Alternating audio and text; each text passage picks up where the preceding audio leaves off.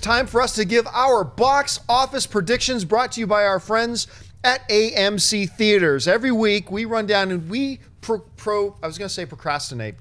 prognosticate. I, what am I thinking today? Prognosticate what we think the box office results are going to be come Monday. So, Dennis, you're up on the block first. What's going to be the top five of the box office come Monday? I have Deadpool repeating at number one. I know we have three three pretty big movies coming out, but I think Deadpool's still going to hold on to that. And then I have Eddie the Eagle. I think a lot of the buzz for that movie is going to spread. People want to see a feel good movie, you know.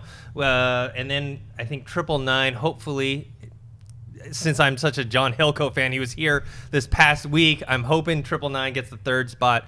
I think Risen is doing much better than they expected. So I, I see some repeat business for that on the fourth slot. And the fifth, The Witch. I hope all that negativity that some people are having about the film doesn't affect it because I really enjoyed it. I know I'm not the horror oh, fan. Oh, it's a so, damn good movie. So I maybe maybe that crowd will come out and see it.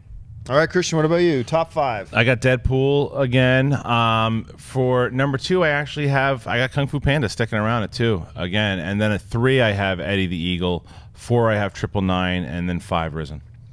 Um, and the correct answer is number one, Deadpool. Number two, Triple Nine. Number three, Eddie the Eagle.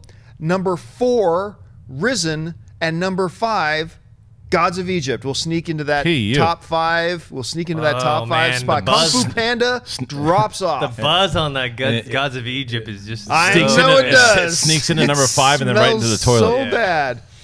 All right, folks. So those are our predictions. Make sure you check back on Monday and see how close any of us or how far all of us were from the actual results. Hey guys, if you like this clip, click here to watch the entire episode. Also, make sure you subscribe to our YouTube channel because it'll help you stay up to date with all the stuff we've got going on here at Collider.